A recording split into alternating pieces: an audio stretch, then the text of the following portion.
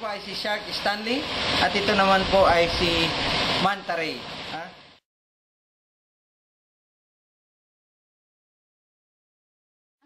Ito po ay pating. May palikpik, matatalas ang ngipin. Dito, lalo na sa amin sa Palawan, ah, ang pagkakaalam na kasi may, ah, kulang pa po sa kalaman ng marami na kapag nabalitaan nilang ang pating, eh, matatakot kagad sila. Ngunit ah, sa kabilang banda naman po ay ang pating, meron naman pong friendly, meron ding hindi. Lalo na na dito po sa amin ay merong isang mamamayan na kung saan ay nabalitaan naming sinakman ng pating sapagkat po ito ay kanyang sinaktan. So, kapag sinasaktan mo man ang isang bagay o isang hayop o isang isda, talaga pong mananakmal ito.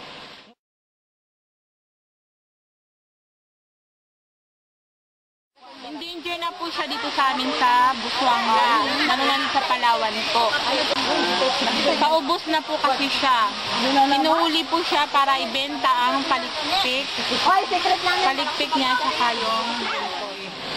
Lalo na dito sa amin sa ah, Busuanga, wala na kamo po kaming nakikitang mga pating na katulad nito.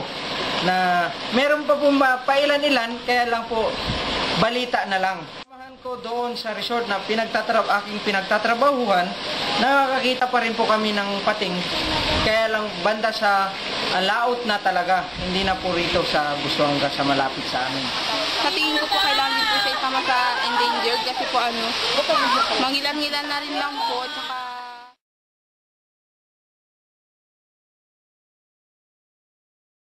Patungkol naman po dito sa sa Manta Ray, ah, pambihira na rin po ito dito sa amin. At nakikita mo po kami minsan ah, yung mga pailan-ilan. At ayon po sa aking kaalaman, nanganganak sila pag sila po ay lumilipad sa laot para mga pagi, ah, ano po siya, ah, malapad po yung parang pakpak niya.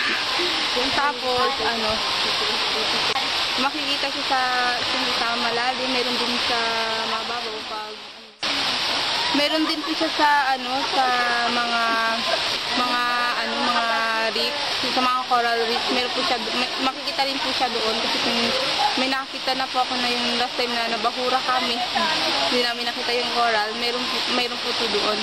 Ano, ano po, lumatago po siya sa buhangin kasi sa mga patulad sa Kaniki Beach, meron, na, meron kami nakita doon, nakatago po siya sa buhangin. Ano po siya.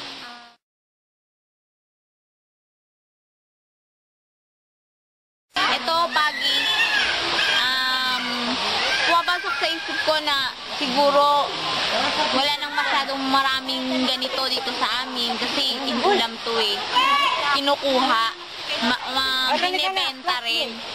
At naisip ko na na sanang na na kunti na lang talaga siguro ito dito sa sa Barangay Concepcion. Wala po ah. Ah, kailangan siya isama sa endangered kasi ano konti na lang kasi nahuhuli na ganito dito sa Concepcion. Kada ano na lang po ah, mangilan-ngilan na lang po. Marami po dito makikitang pagi kaya lang wala na itong ah, ah, salanga na kung tawagin nila. ah.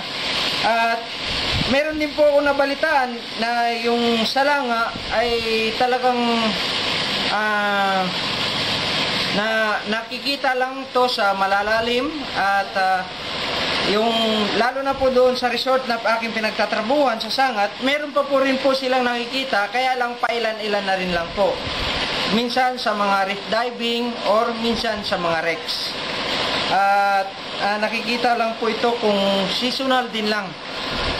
Seasonal na rin lang po ito makikita ah, sa sa mga panahong ito na talaga pong ah, pawala na paubos na rin po ang mga ganitong bagay ito si ah, si Manta Ray at si Char, ah, Shark Stanley at talaga pong dapat na ah, matuunan din po ito ng ating gobyerno sapagkat ah, hindi lamang po mga turtle, mga kung ano-ano pang bagay, mga agila ang dapat in, ah, isasama nila sa endangered species.